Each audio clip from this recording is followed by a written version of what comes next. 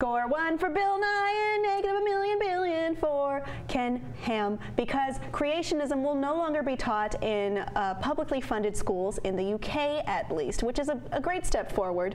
So pretty much anything that is not backed by scientific evidence will not be admissible in schools and includes religious schools that, that are at least funded by the state. I'm in support of this. You? Yeah, yeah, that's pretty obvious. I mean, I mean, there's two things here. Is the one we're saying, oh, things that are taught in science class should be based in science. Well, yeah, obviously. I don't know why that was up for debate. What, what are these ideas you speak of?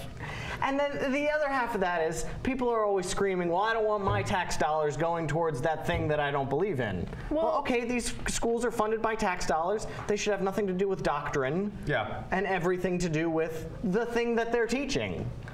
I, looking at how they, they phrased it also, the actual document they've got, I, I find it really interesting and diplomatic because they're just saying, like, we're, we're against. Uh, any doctrine or theory which holds that natural biological processes cannot account for the history, diversity, and the complexity of life, and rejects uh, the scientific method.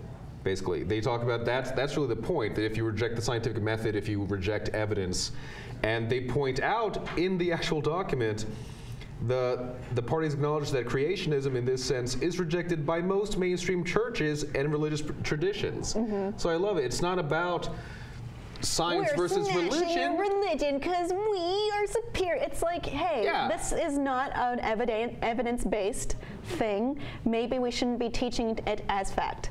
Exactly. Uh, reasonable, and, perfectly reasonable. And it's just this is it's, it's teaching the evidence we have and the methods and means by which certain things happened. Mm -hmm. It's not not saying if you believe that God created this, that's wrong you can do whatever you want outside of that. It's just this is what we know. This do is what, what we you prove. want for your own life yeah. in your own time. Yeah. And this is what's being taught to everyone, not just everyone in your religious belief. Yeah, and it's I, I honestly I resent just the attitude of anything scientific is is bad or going against a belief in something beyond. I mean, mm -hmm. my mother and I watch Cosmos, and when she sees how Is the your universe. mother very religious? She's Catholic. She goes to church every Sunday. She she mm -hmm. complains that I don't, and. But when she watches Cosmos and, and Neil deGrasse Tyson is talking about all that stuff, she goes, "Man, God knew what He was doing, huh?" Oh. Uh, Why not? nothing wrong with that. Why not? No, Just if he. It's that's not really the point, but I guess. No, no, but she I don't loves. think they're mutually exclusive. Exactly, right. they're not mutually exclusive. Like you're, the point is like you're you're learning about science and you're learning about how these things work. Whatever put mm -hmm. it into mm-hmm. action is up up to so your own. So you can put your thing. own context around it. Yeah. Sure. I guess. Yeah, whatever. It's, I mean, it's just it's I mean, hypocritical to teach the scientific method right. as the you know the set of rules for science, yeah. and then give examples that don't follow that. I Absolutely. mean, kids are going to put that together themselves, so why why even make them do that? The scientific method is one of the greatest things we've ever come up with, mm -hmm. and and we should value that. Agreed.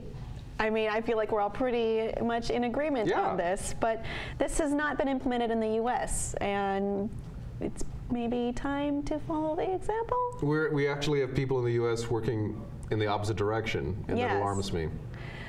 Again, believe whatever you want, but but don't ignore things that we've we've tested and we've proven.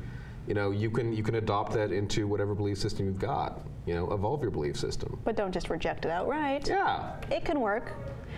So, what do you think of the UK banning creationism in all state-funded schools, and should it maybe apply over here as well? Editor's note, yes. Please let us know what you think below in the comments, and please be sure to subscribe.